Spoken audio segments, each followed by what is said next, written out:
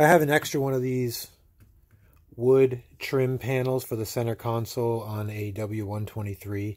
I've always wanted to see if I could revive one of these.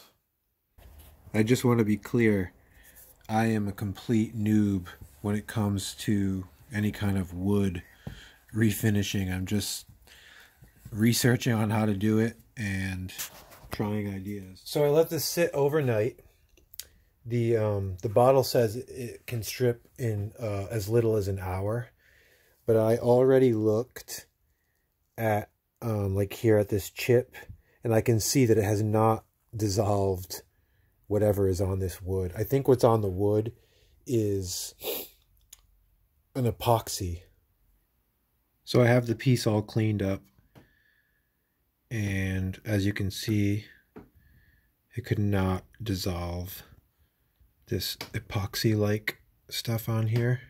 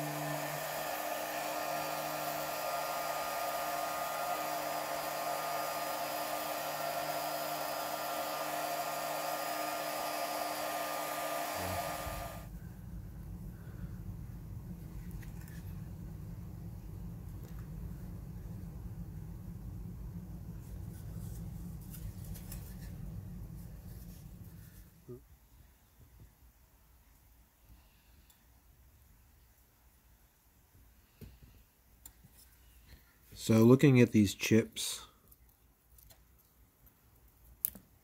the first thing I noticed was it's not clear. It's like a, an epoxy, but it's already has like a tint to it. The epoxy that I have is clear. So what I'm, it's probably gonna look good, but it's not gonna be the same original color as like a, as a factory one the whole point really is to protect the wood. For me, the color is secondary, but if you're going to do this and you want to make it look factory, I think you should try experimenting with tinting the epoxy to this color. I just want to be clear, I am a complete noob when it comes to any kind of wood refinishing. I'm just researching on how to do it and trying ideas. So for this little mistake I made here, I'm going to just put a tiny bit of wood glue underneath it. So I'm going to let that sit like that for a while.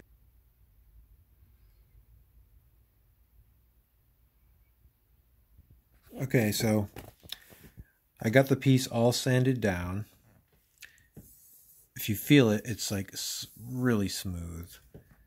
But there's still remnants of where it was chipped before.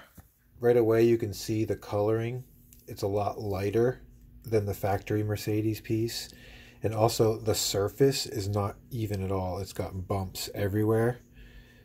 But from what I can tell, that's okay for now it's going to look a lot better once I do the flood coat. I'm going to put a really thick coat of epoxy on here and it'll self-level and hopefully we'll get rid of all this bumpiness.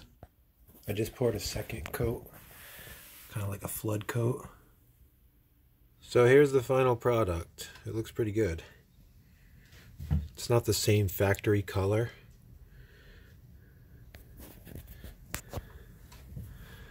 But it really made that wood pop.